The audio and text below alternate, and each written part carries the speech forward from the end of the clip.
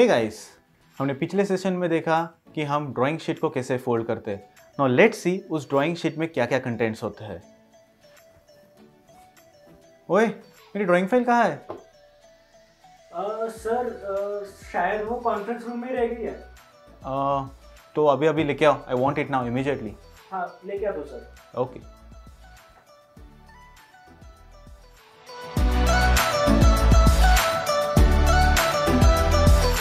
अरे बाबा, कितनी बार बोला है ड्राइंग फ़ाइल जैसी इंपॉर्टेंट फ़ाइल इधर उधर नहीं रखते।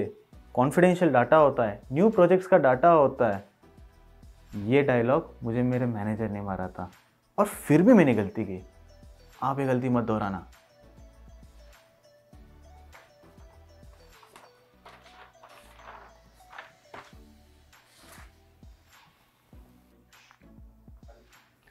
जब कोई भी ड्राइंग शीट हम पहली बार खोलते हैं तो इसमें काफ़ी सारी चीज़ें दिखाई देते हैं।